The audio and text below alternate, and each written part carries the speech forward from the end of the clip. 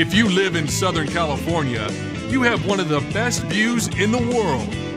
But modern homes and buildings can be hard to maintain, especially those hard to reach windows. Call Custom Home Detailing today. Let our friendly staff clean and beautify your home or office. With 20 years' experience, you know we'll get the job done right.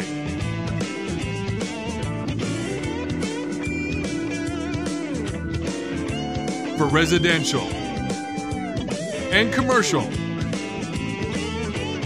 we have the equipment and training for any size job.